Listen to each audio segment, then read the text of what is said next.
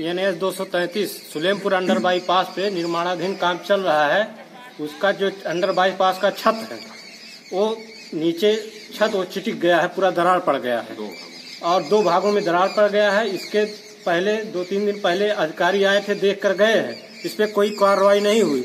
लेकिन यहाँ पर गाँव में दहशत का माहौल है आने जाने में बड़ी दिक्कत हो रही है। हम इस समय मौजूद हैं सुलेमपुर गाँव में। यह एन एच के तहत अंडर पास बनाया जा रहा है, जिससे कि ग्रामीण आसानी से आ जा सके। लेकिन कार्यदायी संस्था द्वारा जिस तरह से घटिया निर्माण किया गया, उसकी बानगी हम आपको दिखाना चाहते हैं।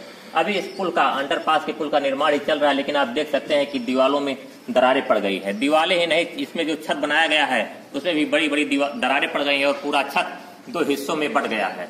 ग्रामीणों का कहना है कि अधिकारी इसका मुआयना करने तो आए, लेकिन कोई कार्रवाई नहीं कर रहे हैं। हमने पुल का निर्माण कर रहे कार्यदायी संस्था के अधिकारियों से संपर्क करने का प्रयास किया तो कैमरे के सामने कुछ भी कहने से इनकार कर दिए।